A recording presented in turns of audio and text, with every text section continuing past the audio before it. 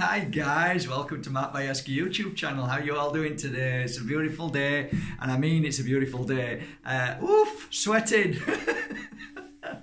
uh, the sun's really beautiful today. Uh, I went to uh, a place called Marbella on the Golden Mile to a place called Organic Cafe this morning and bumped into a few beautiful souls. Uh, it was nice to see people that I haven't seen for a while, and uh, it's nice to be told that you're looking younger every day. Gave him 50 quid. Say it again. Louder. uh, yeah, it's really nice. Anyway, guys, um, let's crack on today. This is going to be a little workshop. Uh, I'm going to help you try and uh, make your own natural oils.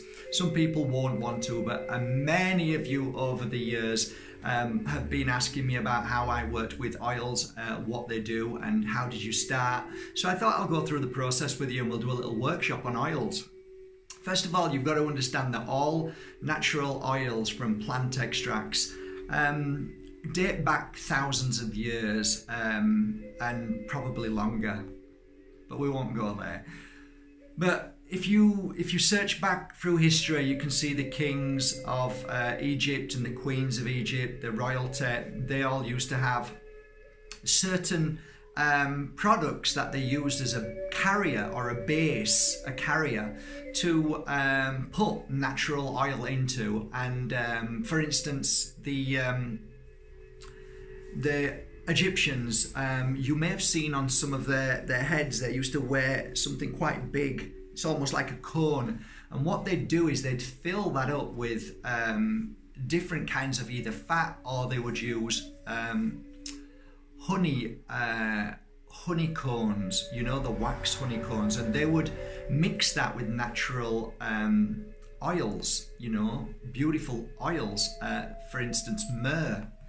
And what would happen is when it got hot, the heat got hotter and hotter, it would melt and it would actually pour down them. And because myrrh was a, an amazing um, amazing natural oil not only to protect the skin but for many other reasons keep your young uh, keep your uh, skin young and lot i mean when we start going into detail with oil it, it's it's a huge huge uh, topic and subject so i'm not going to delve into the properties too much but i'm going to explain to you why i got into uh, come a little bit closer why I got into um, oils. So, uh, a long time ago, I'd met this uh, Wiccan high priestess who, in her home, showed me uh, like some oil. Well, she didn't show me. I was curious. I said, "What's it, what's in that jar?" And basically, she said, "Well, Mark, it's uh, a mixture of different oils from all over the world, um, and there's flowers in there because I like to pick flowers because I'm a Wiccan and Wiccans like nature. And I put my love into it and my energy healing into it. I said, "Wow, that's that's amazing." So I went to smell it. Didn't really smell of anything because most of it was uh, like sunflower oil. That's what she used in this one. Um, but she did mix other things in there. But I found that fascinating, and I got in, I got this urge or this feeling to say, Can I have a little bit? And she said, Sure. So she gave me a little bottle. From that bottle, I put it into a, a little jar about this size, uh, like a cup size. And I thought, I'd like to add to this and start to develop this in my own way. So the way I started developing is I would go to many um, natural fairs or health shops, and I'd like to have a look at natural products, which have um, you know natural leaf products or root products or anything that I felt was healing that I could use in my oils, and I would first of all smell and hold it and just attune: is this going to work for this oil? And most of the time I'd say no for some some strange reason it never felt right. And then and on other occasions I'd go, this is what I need to put in.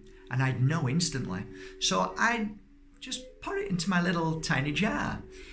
And through the months, I'd add to it with base oils. I'd tried jojoba. I've tried um, so many different base oils to mix and mix um, anyway, I got to the stage where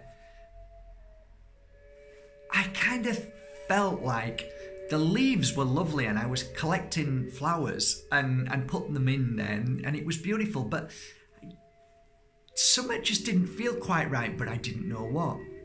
And of course, uh, after a while, I was introduced to crystals, um, and that's when it all made sense. It all came together. So then I went on a mission to find the right crystals to go in my jar. It wasn't really that I was working with crystals to begin with. I didn't really know the power of working with crystals with people. I didn't know the power of a crystal. I thought the crystal would be lovely in the jar.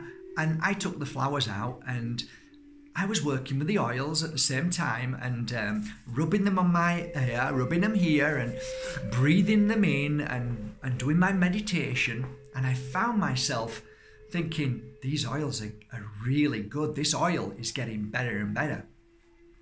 And from there, uh, I was introduced to more uh, plant extracts, and um, I was going for many different types, which they were coming into my life now, loads of them, and uh, and I kept adding, you know, like hundreds, and this jar from here became like this big, became this big, and, you know, I found out about grapeseed oil. Oh, I'm going to try grapeseed oil. Then I found about almond oil and tried that. I tried different oils and working with it. But the same jar was what I felt it was perfect. It's what I needed. It was my healing oil. And I used this oil for many different things, but I called it my healing oil. And as I was doing my healing work with my clients, they used to say, "Oh, Mark, that oil is beautiful," and I used to say, "Here," and I'd, uh, I'll, I'll even show you if I've got it here. Oh yeah, yeah. I used to go, "Yeah, no problem. Let me give you some." so I'd, uh, I'd get a little bottle and squirt some in there and go like that and say, please take this with you. Use it sparingly when you do your meditation or when you feel that uh, a beautiful energy running through you, or if you feel a bit down, rub some on. And I used to teach them how to breathe and relax. And uh, people then used to be saying, Mark, is it okay if I pop up for one of your little bottles? How much are they? I said, no, no, no, it's okay. They're my gift, my gift, my gift, my gift for many years. Now, this interesting jar took on a new form and one day I thought, this is a beautiful jar of healing oil. But what about, for some reason, this is this is what happens. You start to speak and you start to hear, uh, you channel, you feel. I visioned another jar. And this other jar came to me instantly. And this jar was about cleansing. This would be uh, an oil that would clear the most heaviest negativity of people who are depressed, who have tried to take their life, people who have got a broken heart, somebody who's just lost their family members. So then I thought, this is the stuff. People were coming to me who were healers, who were psychics, who were mediums, who were yoga instructors, who just worked with the general public. And I knew that this oil would help them. And I used to say, now take this oil, rub it on your back, lower back, rub it all there, rub it at your temples, breathe it in, rub it here and there, and this will clear any negative energy away. It's called negative energy cleansing oil. So, thus, I took half of that oil from my healing oil and then I got two jars now.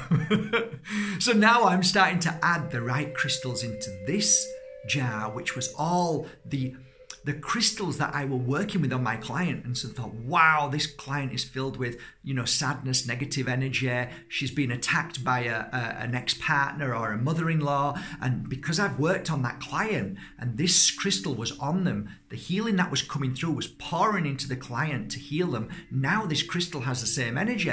So I knew that I could then just go, bloop, put it into that water because I knew that crystal held the memory to go into the jar of negative energy cleansing. So it was brilliant, and I was doing this over the months and months and years.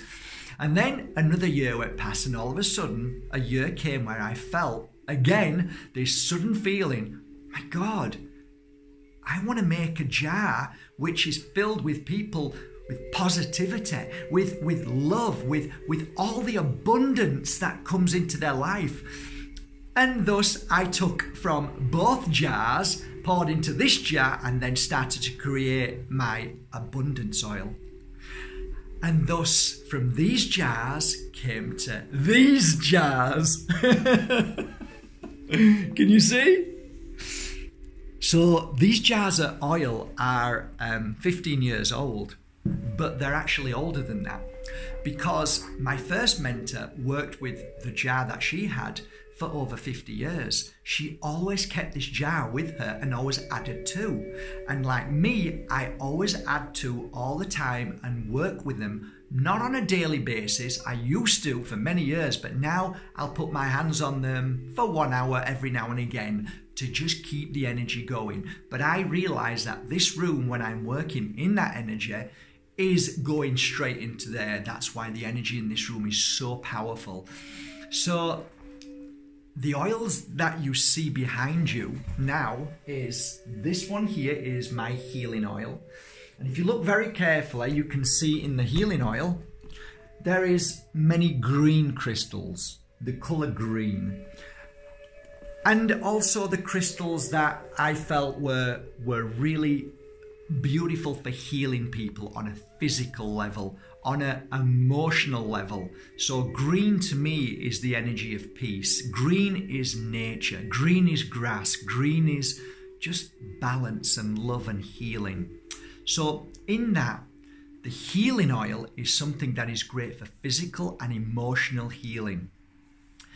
The next jar, what you see there, is the very, very powerful jar of cleansing. Now you can see carefully, there's lots of um, very dark crystals in there, tactites, uh, black tourmaline, and the list goes on. But all amazing crystals to help you cleanse and clear your negative energy.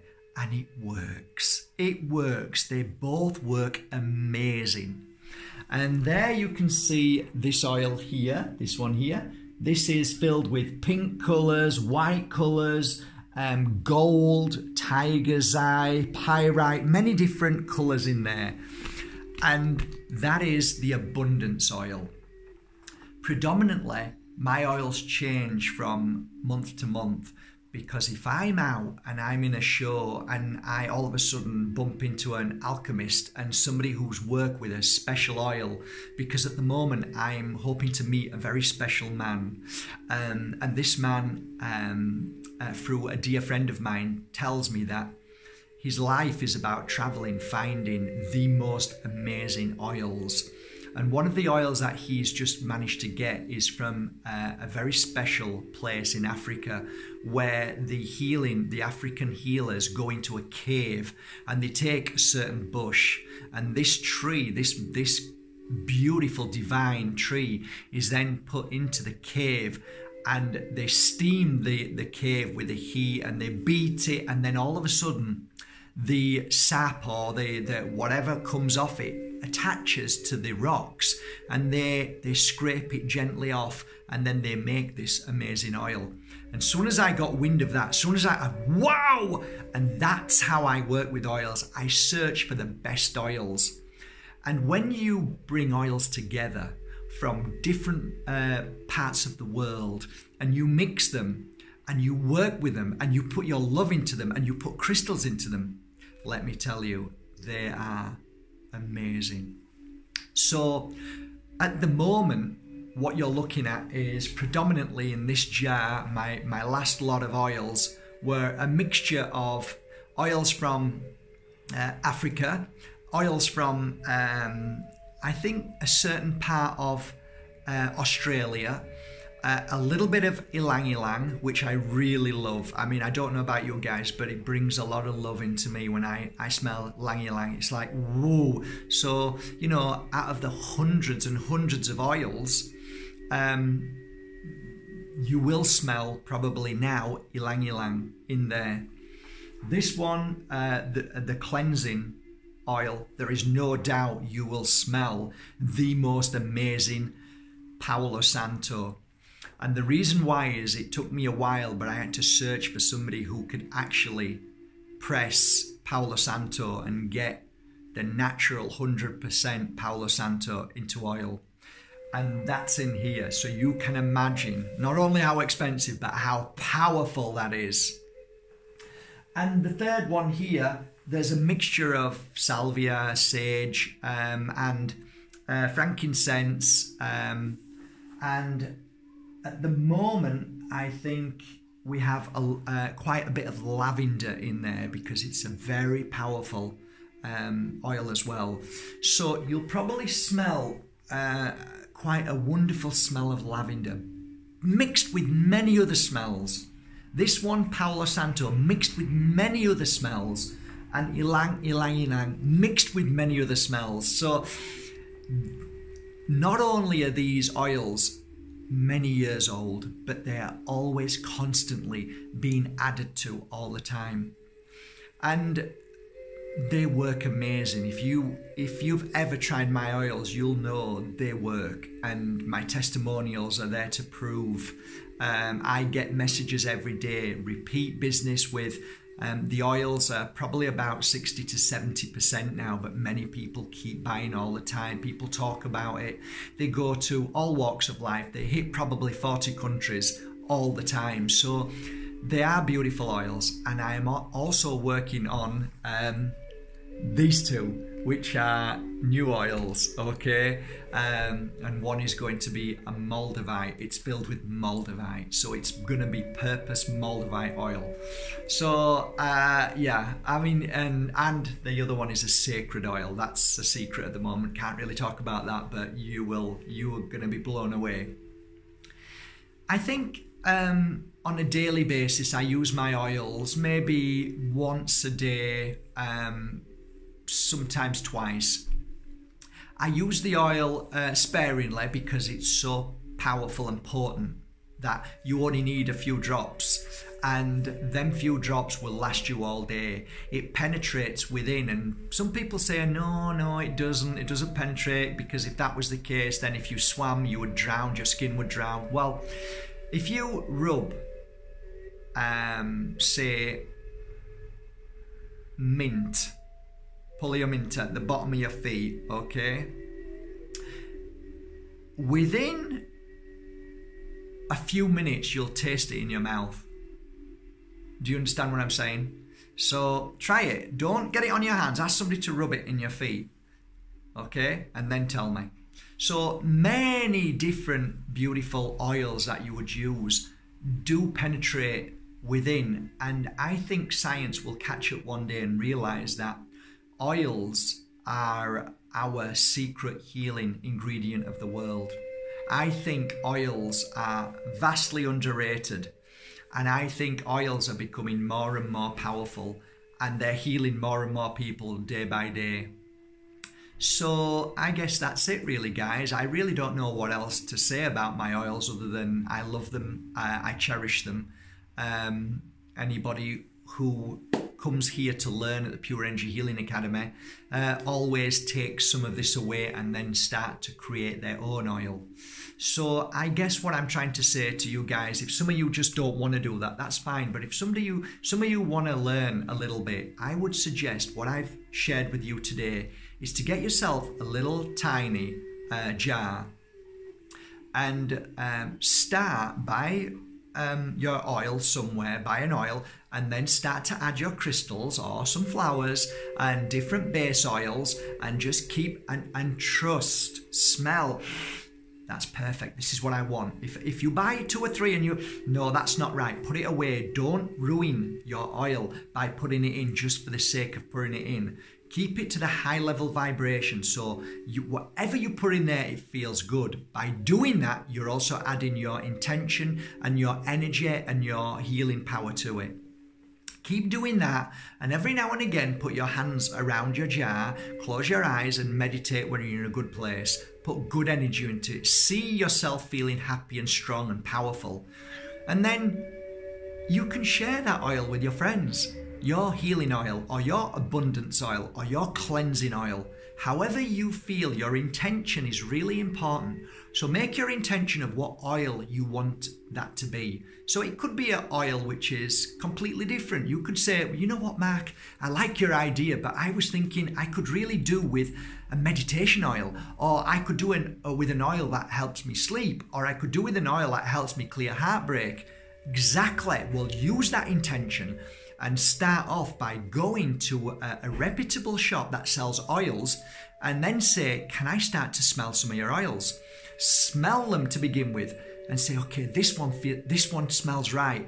Uh, it sounds right. I read about it. It sounds right, and then you would start your oil. Get yourself a base oil, a nice base oil. If you have a nut allergy, keep away from almond. Get um, aloe vera. There's lots of different oils you can get, but get yourself like a nice base oil okay? And then start adding your your beautiful uh, little bottles. Yes they're expensive but it's worth it. It's worth it. And then start to add some crystals which feel right. And i tell you guys if there's something that you know makes you happy in life. You know, some people collect toys, dinky toys, some people collect dolls, some people collect stamps why don't you start your own oil and start collecting crystals from shops and and start going into other shops health shops and and collecting some oils and mixing them and making your own healing jar? Why do you do that it's a beautiful process and it gives you something to do, and you start to then get into that energy of uplifting, feeling great. And then you could tell people, I've created my own oil and let them try it. And hey ho, in 10 years' time from now, you might be a multimillionaire because your oil's the best selling oil in the world. Who knows? So give it a go, guys. It's something to think about. Um, and you can always look on this channel on markbajerski.com under the search bar and type um, healing oils. And there's a lot of videos there that I've done of how to work with my oils and how to work with your oils if you make them. So that's it today, guys. I hope this serves you well. It's a beautiful Saturday. I, I wanted to come and say hello to you all. Thank you so much for subscribing to MarkBajerski.com. 100,000! Mm, mm, mm. We're nearly 100,000! Uh, yeah, well done, guys. We're growing and growing as a beautiful family. Keep going. Have a great day, guys. Um,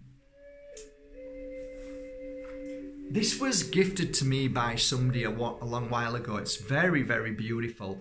I think it's a lapis, but um, I want to gift this away today to somebody, so I will. So um, it's very beautiful. I hope you enjoy it. Uh, I'll I'll just scroll down uh, in a day or two and see who I want to gift it to, and then I'll send you a message. Love you all. Have a great day, guys. Take care. Bye. Oh, thanks for subscribing.